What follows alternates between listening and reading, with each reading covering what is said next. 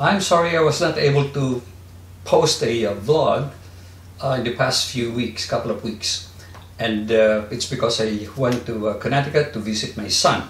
But today we're going to address something that sort of bothered me uh, based on the comments uh, that were posted on my latest vlog. So stay with me, that's what we'll talk about.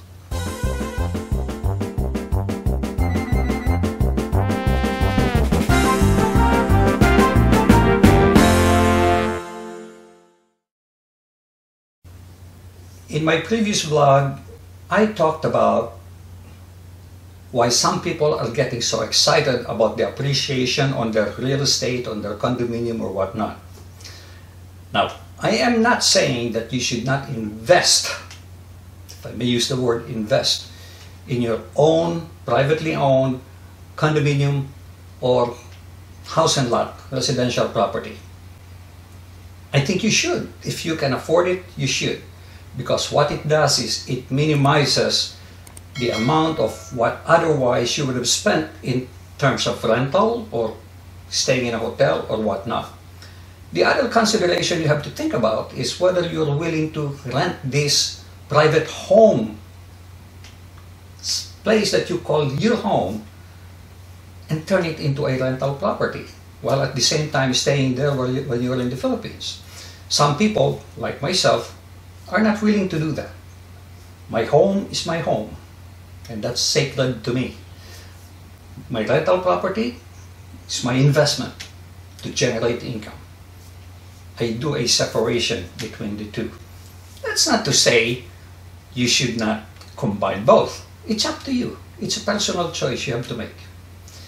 But let's talk about something that sort of bothers me because of some of the comments, and that is they talk about, oh, find out the value of your real estate by looking at the zonal values, etc., etc. So what I want to talk about is what is the difference between fair market value, zonal value, assessed value. So let's start. Market value. What's market value? Market value refers to the estimated price at which a property would sell in the current real estate market. It is determined by various factors, including the property's location, size, condition, amenities, and recent sales comparable properties in the area. Market value can fluctuate over time due to changes in market conditions, property improvements, and other external factors. Now, what is assessed value? On the other hand, assessed value is the value assigned to a property by local tax assessor's office for the purpose of calculating property taxes. It is usually a percentage of the property's market value. The assessed value is used to determine the amount of property tax you owe to the local taxing authority. So let's say your fair market value is 1 million. If their policy is to value your property or assess your property at 80%, then they will say the assessed value is only 800,000 pesos. Did they say dollars? I meant pesos. 1 million down to 800,000. And the reason for that I understand is so homeowners do not complain, hey, gee, my property is only worth 1 million. How come it's being assessed at 1.2 million? So to avoid that argument, they knock it down to a lower percentage of the fair market value. Philippines, this is the first time I heard of zonal value, okay? Philippines, there is a third one. It's called the zonal value, which we will discuss briefly, briefly later. Key differences. Purpose. The market value is used in real estate transactions such as buying or selling a property, assessed value, on the other hand, is solely for tax purposes. Determination market value is determined by real estate professionals, appraisers, or through comparative market analysis done by realtors in the United States. Assessed value, however, is determined by local tax assessor's office based on their assessment methods and guidelines. Sometimes assessed value is equivalent to discounted amount of the fair market value as I explained before. Fluctuation. Market value can change frequently due to market conditions, property improvements, or other factors. Assessed value, on the other hand, is typically assessed periodically in the Philippines every three years, usually annually or even few years, and may not always reflect the current market value. Now, there are type, uh, five types of valuation methods, but we will not delve into this too much. It's the so-called cost approach. How much would it cost for us to rebuild this property today? That's the cost approach. Sales comparison approach, this is 90% of all the appraisals being done. They compare on real, on real estate, on, I mean on residential properties, that is. They compare how much similar properties of similar size in similar location sold for usually in the past six months. But if there is none, no comparable available, they may go one year and then sort of increase it by inflation, inflation factor. Income capitalization approach. Well, they, this is usually on income producing properties. If you're renting your property only part-time or it's not really your main business, meaning it's a residential property, they use the sales comparable, I mean sales comparison approach. But the income capitalization is for those real, real businesses who invest money in order to rent. They look at the income generation and capitalize it back to a certain return on investment. Discounted cash flow is looking at a 10, 15 year horizon and discount the cash flows coming in every single year, including the terminal value of the property to determine how much today's value is. And the gross rent multiplier method is a simple way to say, gee, if I'm making a, if I'm renting it for 1 million and the uh, multiplier is, uh, let's say 12, uh, they will say, if it's 10 million a year multiplied by 12, that's 112, 120 million pesos. Okay? That's a quick way. Now, what is zonal value? Zonal valuation is both used in taxation for taxation purposes and serves as a base for computing fair market value of the property. The BIR, which who are not real estate experts, uses zonal value for calculating internal revenue taxes, particularly on capital gains tax and documentary stamp tax. They usually rely on some other source to determine what fair market value is, and then take a percentage of that and say, okay, that will be the zonal value, period. That will be the basis for the tax. If zonal value is less than the selling price, take note of this. This is not suggesting that the property is overpriced. On the other hand, if the zonal value is more than the selling price, this does not mean the property being sold is undervalued.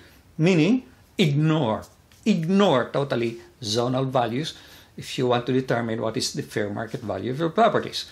And this is what bothered me when people are saying, oh, you, you know, you can just look at the zonal value. No, you don't rely on that at all.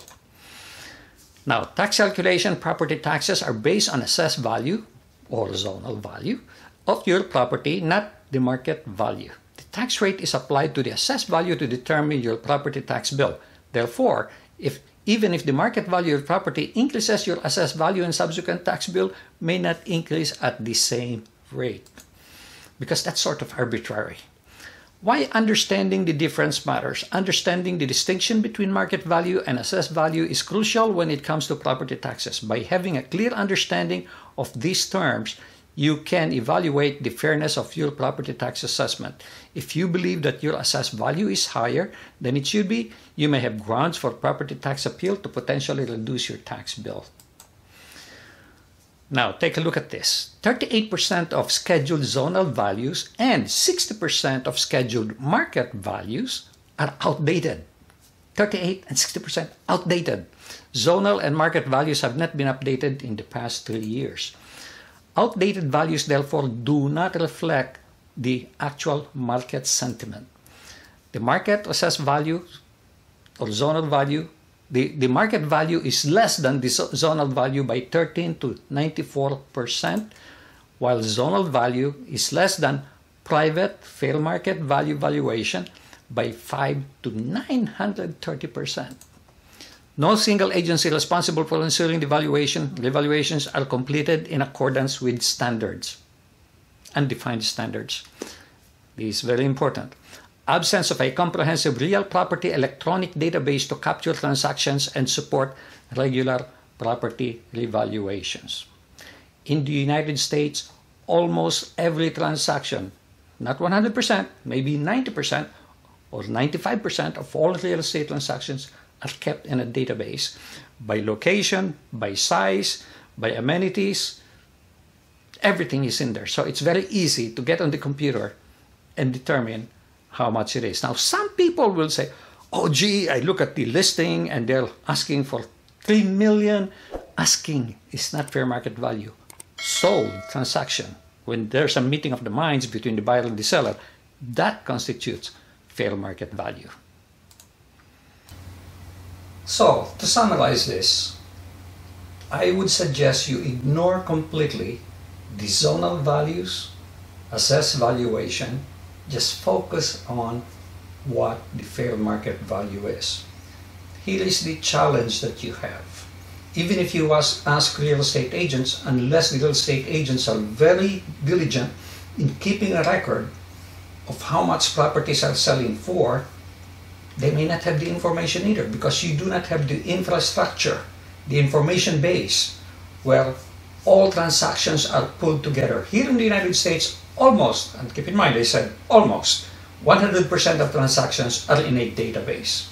So it's very easy when you talk to the agent and the agent will have complete information in their hands. They can determine how much sold for, uh, for how much, how much property sold for during the past six months, during the past three months, during the past year in a given area, bigger area, by category, whether it's a single home, two-story house, condominium, etc., etc., number of by number of bedrooms. They have comprehensive information here. This information is available to real estate agents and also to appraisers. Now, is it available to you? Well, it's somewhat available to you. The problem is when you go to these websites, Zillow, Realtor.com, you will only find houses that are currently for sale.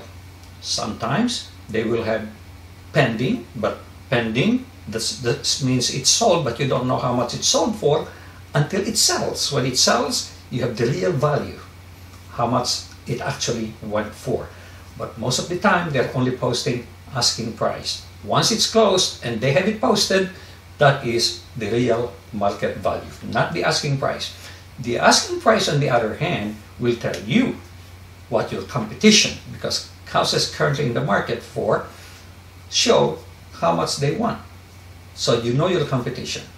But until it sells and until the transaction closes and they don't and they publish the uh, closing price, you don't really know that that that is the information you need to determine actual fair market value.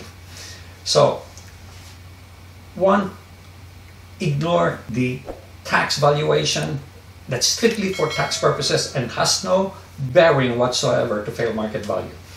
It's important for you to know that so you know what kind of tax consequence you have. Is there an opportunity here to file an appeal because it's overvalued relative to real fair market value? Maybe you can look at comparison with your neighboring houses. This is what's relevant when you look at zonal values and uh, assess value. But for selling purposes, fair market value is what you want to know because that is the dollars that you're going to receive or the pesos that you're going to receive when you sell the property. Okay, so I hope that clarifies that. Uh, if you have any comments, feel free to uh, put it down below, uh, not only for my sake, but for the sake of other people. And uh, I'll appreciate it if you could share this posting with other people who might be of interest on the subject matter. Make it a great day and God bless. Please do subscribe to my channel. That will help me a lot and I will appreciate your clicking like. Thank you so much. Make it a great day.